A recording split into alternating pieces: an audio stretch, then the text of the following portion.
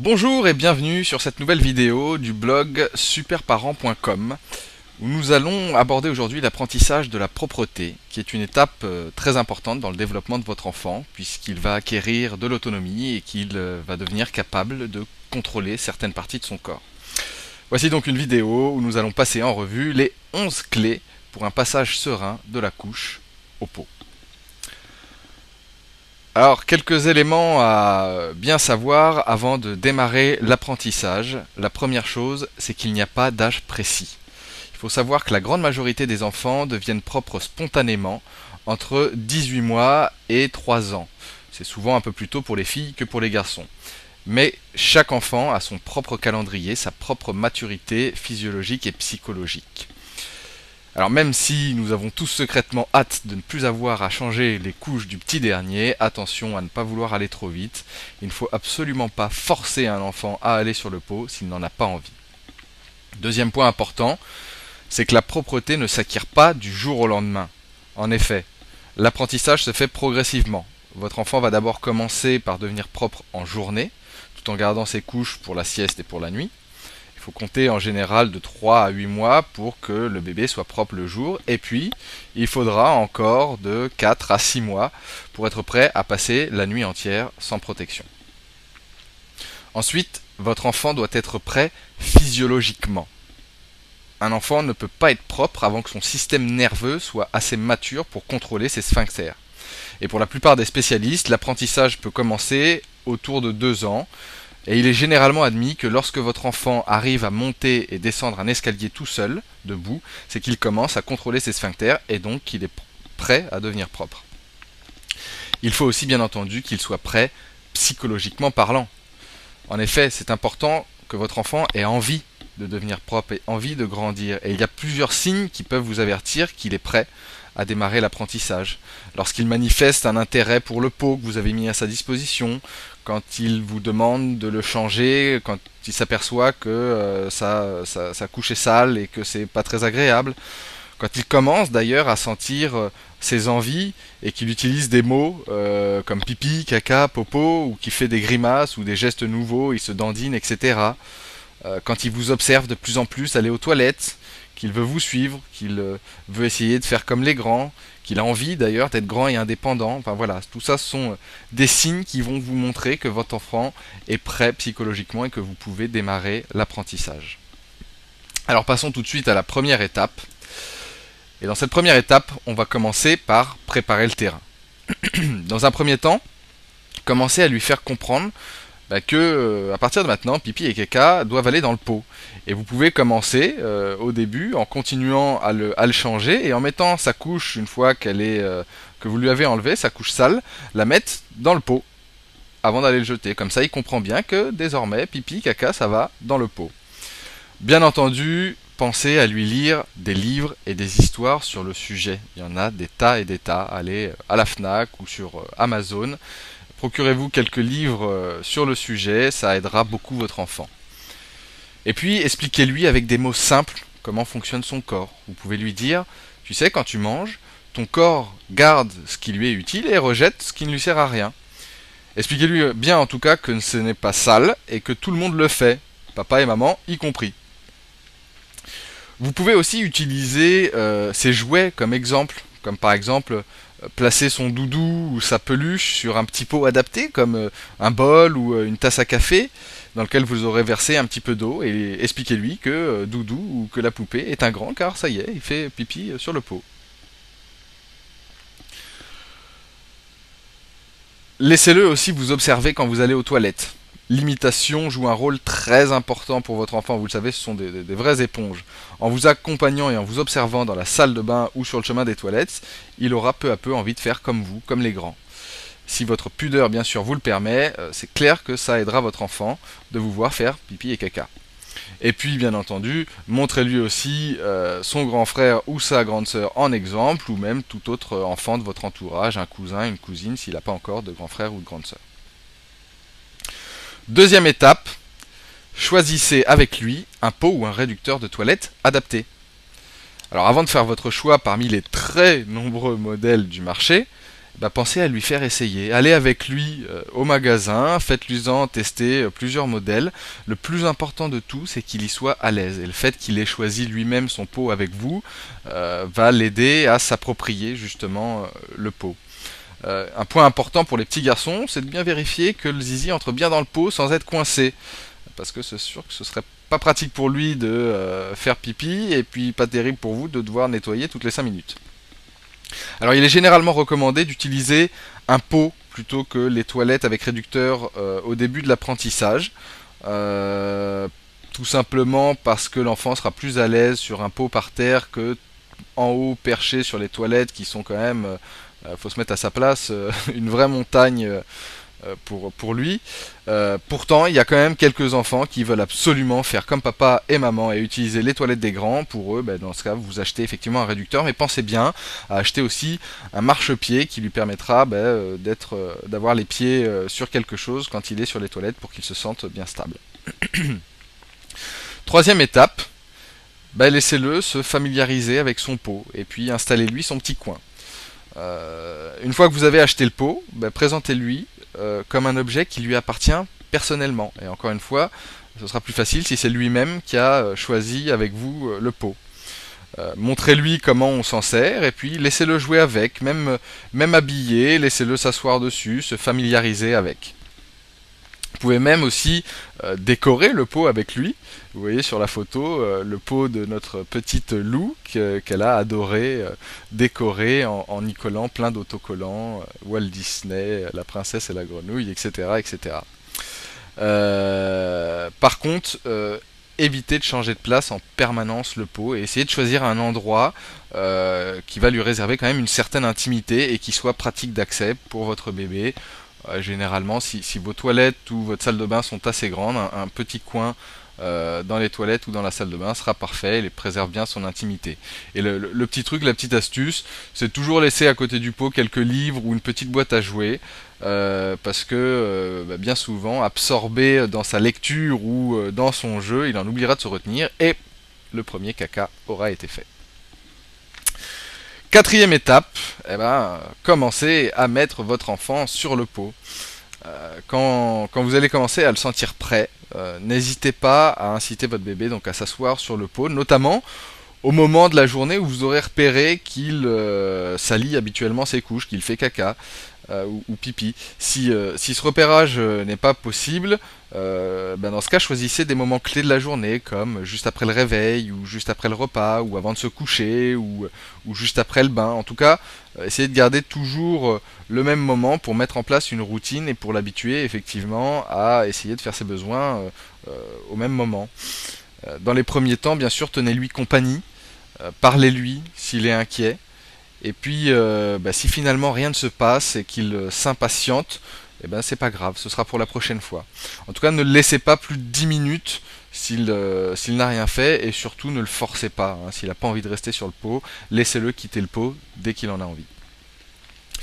Lors des premiers succès, des premiers caca, pipi ou caca dans le pot, c'est absolument normal que votre enfant soit intrigué par le contenu de son pot.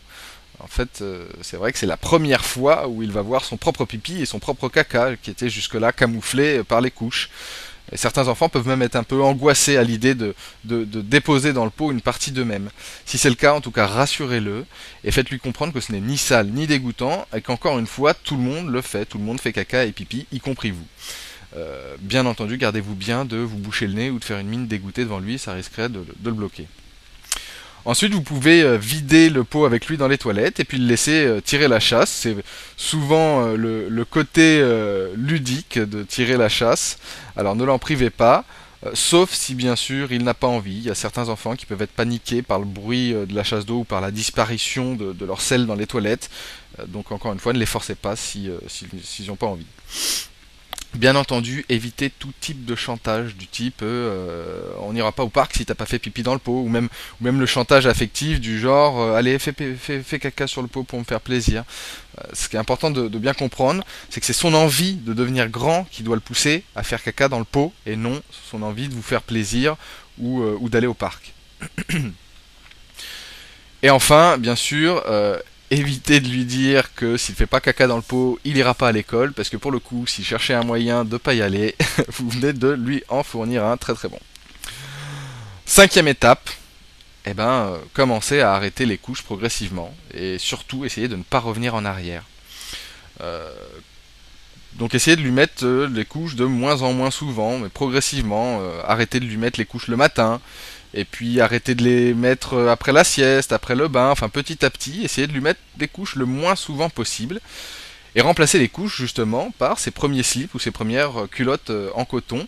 Idéalement, encore une fois, qu'il aura choisi avec vous, parce que du coup il se sentira valorisé d'avoir de vrais sous-vêtements comme un grand ou comme une grande. Et une fois que vous aurez commencé donc à lui mettre ses sous-vêtements et à lui mettre de moins en moins de couches, essayez vraiment de ne pas revenir en arrière et de ne plus lui mettre de couches pendant la journée, à part bien sûr pendant la sieste. Parce que votre enfant risquerait sinon de penser que vous lui faites plus confiance et ça peut aussi être une cause de, régression dans l'apprentissage. Euh, pour la sieste, pour la nuit et pour éviter les accidents quand vous n'êtes pas chez vous par exemple, eh ben, euh, privilégiez maintenant les couches culottes du type pull-ups. Euh, qui sont bien pratiques et euh, qu'il peut baisser ou remonter presque aussi facilement que ses sous-vêtements. Et puis pensez aussi pendant l'apprentissage à l'habiller avec des vêtements simples à enlever, éviter tout ce qui est boutons et fermeture éclair, ce sera aussi pratique pour lui que pour vous euh, en cas de besoin pressant. On passe maintenant à la sixième étape. cette sixième étape en fait c'est une petite méthode euh, la méthode douce, si jamais euh, vous avez vraiment du mal, si votre enfant a vraiment du mal à se mettre sur le pot, eh ben, vous pouvez euh, arrêter de lui proposer le pot pendant un certain temps et lui proposer cette fois-ci la couche lui-même. Il connaît la couche, il sait à quoi ça sert, il l'utilise depuis qu'il est tout petit. par contre, essayez de le laisser cul nu ou en petite culotte, en tout cas le, le, plus souvent possible, et ne lui mettez une couche que toutes les heures et demie ou toutes les deux heures. Une fois que vous lui avez mis la couche, s'il fait dedans, très bien. Euh, vous lui enlevez la couche, vous le nettoyez, vous le remettez en culotte. S'il n'a pas fait au bout de 10 minutes, et eh ben dans ce cas, vous lui renlevez la couche, vous lui remettez ses sous-vêtements et vous posez une couche propre, euh, pas, pas, trop loin de lui, en tout cas visible, sur une chaise, sur le canapé. Euh, et normalement, au bout de quelques jours, c'est votre enfant qui finira par vous apporter lui-même sa couche quand il aura besoin, quand il aura envie de, faire, et il vous demandera de lui mettre sa couche qu'il aura pris sur la chaise ou sur le canapé là où vous l'aurez laissé. Cette méthode en fait lui apprend euh, à se retenir et à repérer les moments dans la journée où il a envie de faire ses besoins, et du coup il devrait... Euh, euh, ne plus avoir trop de difficultés à commencer à utiliser le pot ou même directement les toilettes avec un adaptateur. En tout cas, euh, vous pouvez retenter le pot euh, à ce moment-là. Étape 7, bien entendu, accordez-lui des petits loupés. Soyez patient et indulgent parce que les accidents occasionnels sont parfaitement normaux et font partie de l'apprentissage de votre enfant. Surtout ne vous mettez pas en colère, ne le grondez pas et évitez à tout prix de vous moquer de lui ou de l'humilier. Ça, c'est encore une fois une, grande cause de, blocage. Euh, ne lui laissez surtout pas ses vêtements souillés pour lui apprendre qu'il euh, ne faut pas euh, qu'il fasse dans sa culotte ou dans son pantalon. Là encore, vous risquez de provoquer un blocage. Et par contre, il est très important de lui expliquer que euh, son accident n'annule pas du tout le processus d'apprentissage. Et vous pouvez par exemple, pour lui redonner confiance, lui dire euh, quelque chose comme bah écoute, tu as eu, tu as eu un petit accident, c'est absolument pas grave. Euh, tu as peut-être encore envie d'ailleurs. Viens, on va, on va essayer de terminer ton pipi ou ton caca sur le pot. Et une, une autre petite astuce, ou en tout cas quelque chose qui met vraiment les enfants en confiance, c'est de répéter le plus souvent possible cette phrase magique, c'est tu n'y arrives pas encore, mais tu as le temps, euh, tu vas de toute façon y arriver et c'est toi qui décideras du moment. Donc ne t'inquiète pas, tu vas y arriver. Étape numéro 7, pensez à le féliciter, bien entendu.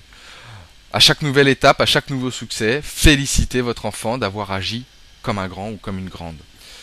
Par contre, évitez les récompenses matérielles du type bonbons, euh, cadeaux, etc. Encore une fois, votre enfant doit avoir envie de grandir et non pas de faire sur le pot pour recevoir une récompense. Et puis, euh, un autre petit truc, quand il a fait sur son pot, réservez vos compliments à votre enfant et non à son caca. Il est bien, bien sûr préférable de dire je suis très fier de toi, tu as fait un caca comme un grand, plutôt que oh quel superbe caca tu as fait à ton papa. En fait, si, vous lui dites que c'est son caca qui est beau, il va pas comprendre pourquoi est-ce que vous voulez le jeter dans les toilettes. Neuvième étape, pensez à faire suivre l'apprentissage en dehors de la maison.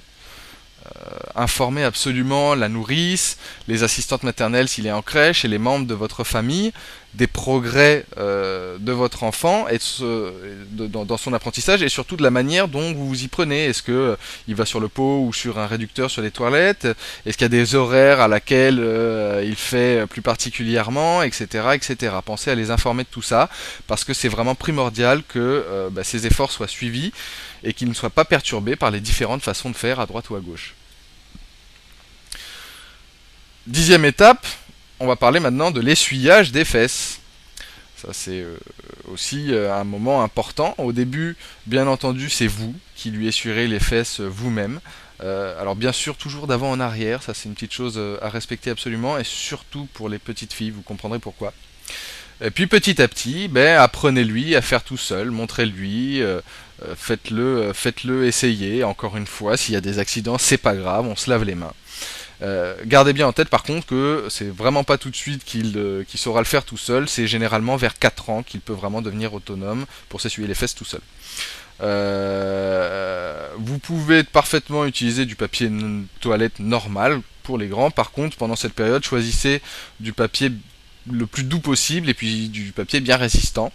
Euh, mais nous, on va vous, enfin, on vous préconise d'utiliser les lingettes. On s'en est servi, c'est vraiment très pratique. Les enfants euh, apprécient beaucoup. Euh, ils se nettoient plus facilement et plus rapidement. Le seul inconvénient, c'est que c'est un petit peu plus cher et que c'est moins écologique. Mais c'est vraiment très pratique et puis on n'est pas obligé de les utiliser très très longtemps. Onzième étape profiter de l'apprentissage de la propreté pour lui apprendre à se laver les mains, puis ça va complètement avec. Euh, c'est vrai que c'est vraiment euh, l'occasion euh, d'apprendre à votre enfant à se laver les mains, et de toute façon, il sera absolument ravi de faire comme vous, de faire comme un grand, surtout si vous l'accompagnez et que vous lui montrez. Donc apprenez-lui bien à se, à se laver les mains correctement en frottant les paumes, le dessus des mains, entre les doigts, et et puis utiliser des savons liquides ou des savons en mousse, les types pousse-mousse, etc. C'est plus ludique et puis c'est plus approprié euh, à leurs petites mains. Voilà pour les 11 euh, clés de l'apprentissage de la propreté. Maintenant, un petit mot aussi sur les peurs et les blocages qui peuvent survenir pendant euh, cet apprentissage de la propreté. Il faut savoir que ce sont euh, très souvent les, bouleversements euh, importants dans la vie de votre enfant qui peuvent le bloquer ou le faire régresser. Et la plupart de ces bouleversements, c'est euh, un déménagement, la naissance d'un petit frère ou d'une petite sœur, la séparation des parents, pour parler des, des, principaux grands bouleversements. Mais il se peut aussi que votre enfant ait peur de faire ses besoins sur le pot à la suite d'une expérience choquante quelqu'un euh, euh, en dehors de chez vous qui l'aurait forcé à rester sur le pot alors qu'il n'avait pas envie, par exemple. Ou alors il se peut qu'il soit, euh, c'est même souvent le cas, qu'il soit en pleine crise d'opposition et que refuser le pot soit une manière de s'opposer à vous. en tout cas, dans, dans, dans, toutes ces situations, soyez indulgents et ne lui mettez pas la pression supplémentaire du pot. Euh, les spécialistes préconisent généralement dans ces cas-là d'attendre quelques semaines avant de recommencer, de reprendre l'apprentissage. Et alors pendant cette, cette période où vous allez stopper un petit peu l'apprentissage, continuez cependant euh, à lui parler et à le faire parler sur le sujet, en fonction de, ses moyens, bien sûr. Euh, continuez bien entendu à lui lire des livres sur le sujet, à lui expliquer ben, que c'est un processus parfaitement normal, que tout le monde fait ses besoins, que papa et maman ils le font, que tout le monde le fait, et puis que que les déchets dont son corps n'a plus besoin doivent retourner à la nature. Ça peut être des, petites phrases qui peuvent l'aider aussi. Et avant de, recommencer euh, l'apprentissage, de lui proposer le pot à nouveau, mais pensez à toujours traiter votre enfant comme un grand de plus en plus et, ne le traitez plus comme un bébé. Mettez-lui, comme on l'a dit tout à l'heure, des, couches de grands, type pull-ups. Évitez de l'allonger pour euh, le changer, parce que ça c'est vraiment la position bébé. Et puis flattez-le sur tous ses progrès qui font de lui un grand garçon ou une grande fille. et alors bien sûr, euh, si par contre la situation persiste et qu'il y a vraiment un gros blocage, que ça vous inquiète, consulter un spécialiste. Euh, généralement, il va suffire de quelques séances pour résoudre ces petits problèmes. Voilà, euh, nous espérons que tous ces conseils vous seront utiles. En tout cas, s'il y en a vraiment un qu'il faut retenir particulièrement, c'est celui de ne pas lui mettre la pression et, de ne pas vous angoisser vous-même dans cet apprentissage de la propreté. Sachez que plus vous serez vous-même angoissé, plus lui le sera. Donc écoutez, à vous de jouer. Et euh, ce qui serait super sympa, c'est que vous nous fassiez part de euh, vos expériences en laissant un commentaire sous cette vidéo. Euh, en tout cas, nous vous disons à très bientôt pour de nouvelles vidéos, de nouveaux conseils sur le blog superparent.com. À très bientôt